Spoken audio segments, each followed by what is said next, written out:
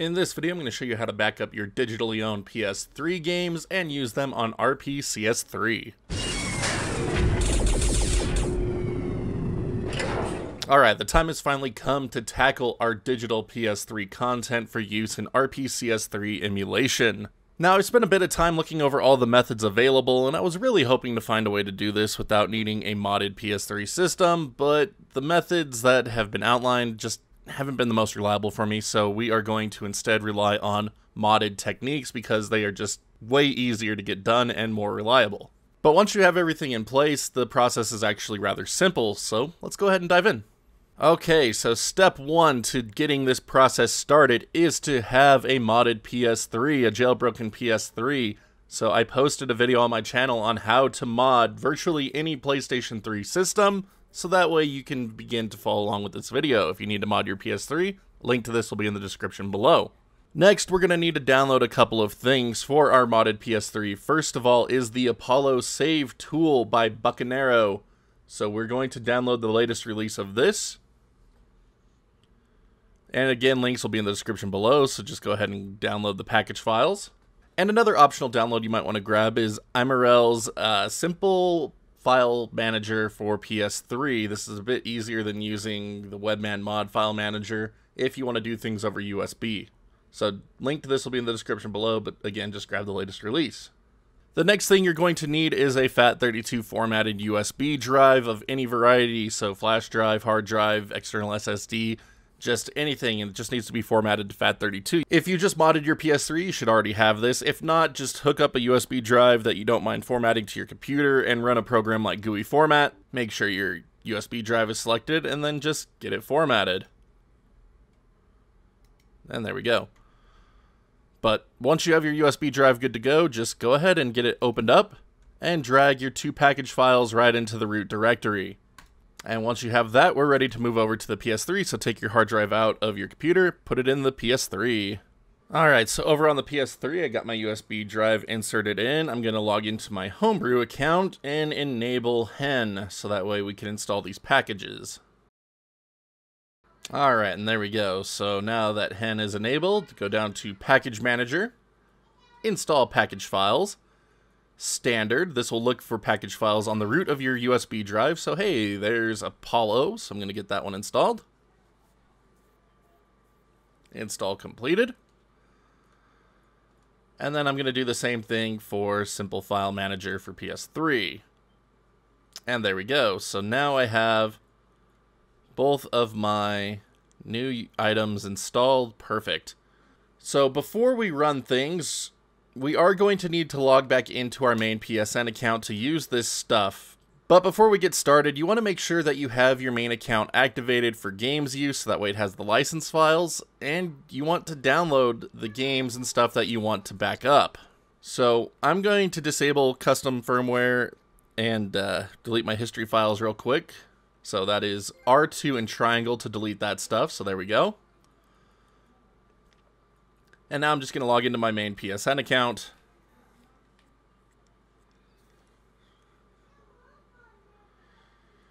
So again, if you haven't activated your account on your current PlayStation, you go into account management, system activation, PS3 system, and then you can activate it for games. Mine's already activated, so I don't need to worry about that. But you can always re-download anything you've ever bought off of the PlayStation Store through the transaction management uh, window here, you can go to download list.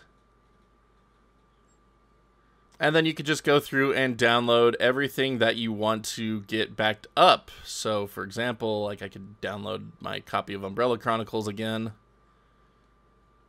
So it'll activate the license on my PlayStation and then begin downloading the game. But I'm not going to wait for this to finish for this video. I have stuff already on here that I could back up. But again, just go through and download everything that you want to have on your emulated system. So if you own any digital PS3 games, like just get them all downloaded. But once you have everything downloaded and installed that you're ready to back up, just I need to restart my PlayStation 3 so I can re-enable Hen. Alright, so I'm just going to log back into my homebrew account here real quick. And enable Hen. Alright, now that hen is re-enabled, we're going to go ahead and launch into Apollo Save Tool for the first time using our Homebrew account because I think this program needs to be connected to the internet to do its initial install because for whatever reason, whenever I try to do the install of this program offline, it just results in a black screen that won't load. So this seems to work, so I'm just going to share that information with all of you. And on first launch, the program will do some setup steps, so just be patient with it while it does its thing.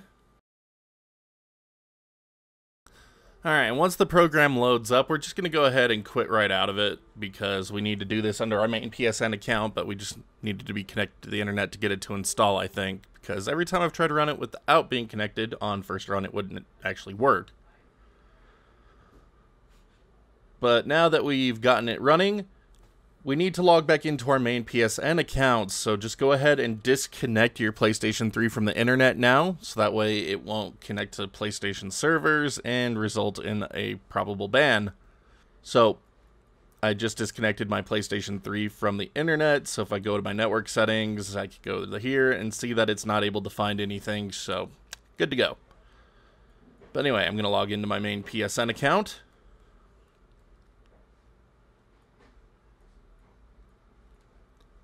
And I'm going to load back up Apollo Save Tool. Now inside of Apollo Save Tool, you'll see where your cursor is by the pot that is filled in with black. So there we go. So we're going to head over to the user backup page over here. Go ahead and enter this. And now go down to the option that says export licenses and press cross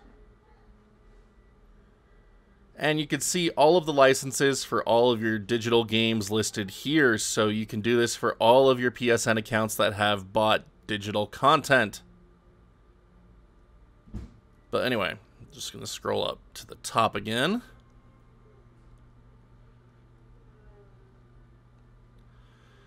And we're going to export all licenses as RAP files. So just press cross on this option and then we're going to save them to our USB drive that should still be connected to your PlayStation. And now all my license files are backed up into a EX folder on my USB drive. Perfect. And that is all we need to do within Apollo Save Tool to get our digital content backed up. So we can just go ahead and exit out of this utility now.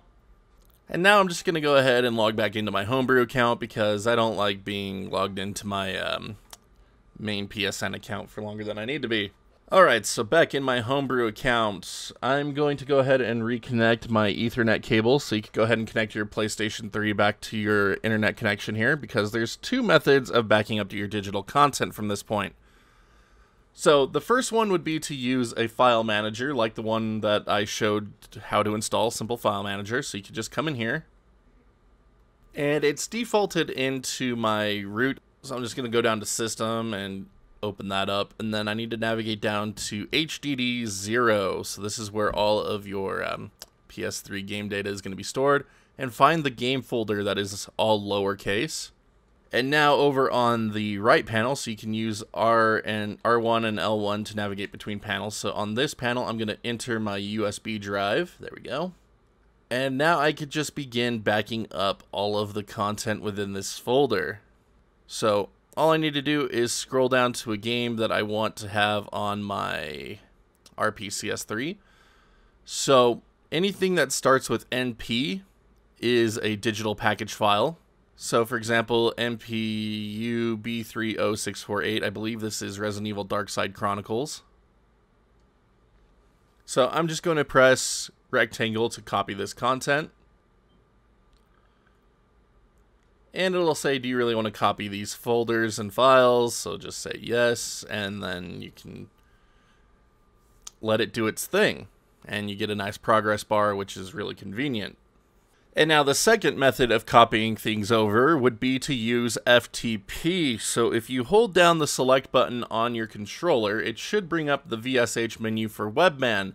And you'll notice on the right side of that menu, you have your firmware, network connection, and then an IP address. So make note of your IP address right there. So now over on your computer, you can open up an FTP program like FileZilla or what have you. and then just type in the IP address that was given.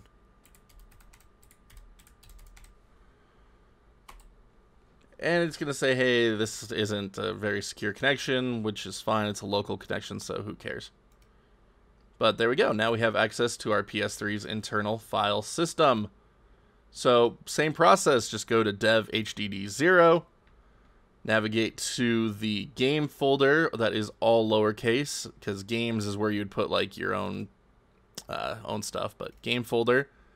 And then again, NP folders are your digital content typically, so I'm going to copy over Resident Evil Darkside Chronicles to my desktop. Actually, it's going to get mad if I do that way.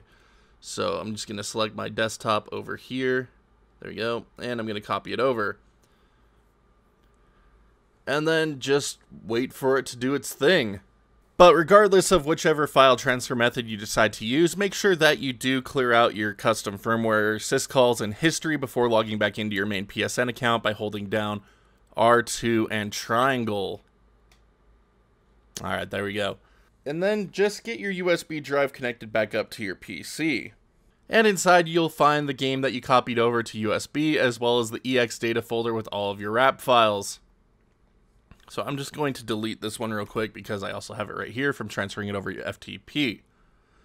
But anyway, once you have the games that you want to play on RPCS3 ready to go, just open up your RPCS3 folder, navigate to the dev HD00 folder, HDD0 folder, find the game folder, and then drag the content inside. And now when you load up RPCS3,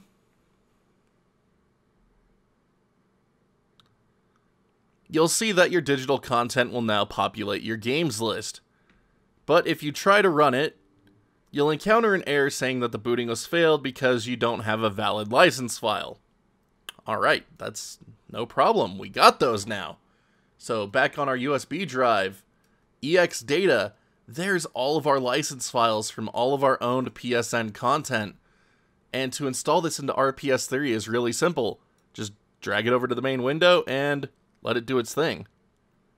And now when we load up our digital content, everything should boot as intended. And I already compiled the shader, and I already compiled the SPU caches for this game, so it boots right up. But there we go. Now I am able to enjoy my digital PS3 content on RPCS3. But there you have it, the process for backing up your digitally owned PS3 games and using them in RPCS3. As always, thank you so much for watching this video. I hope that it has helped you get your PS3 emulation projects further along and allows you to keep your digitally owned games long past the lifetime of the PS3 system itself. But I do have a couple of huge favors to ask here at the end. If you haven't done so already, please be sure to hit that like, dislike button, depending on how much you like today's tutorial, as well as hitting that sub button and ringing the notification bell so you can see when new content goes live on the channel. I have loads coming your way, and I'd love to have each and every one of you along for the ride. For anyone interested in further helping support the channel and keeping it running, you could also check out that join button here on YouTube or the Patreon link in the bottom right hand corner of the screen. Little goes a long way to keeping us going and bringing this content to all of you. Big shout out to all of our current backers. Thank you for believing what we do here and helping us keep it going. But until next time, my wonderful internet peeps, you all stay awesome, keep on gaming, and we'll see you back next video.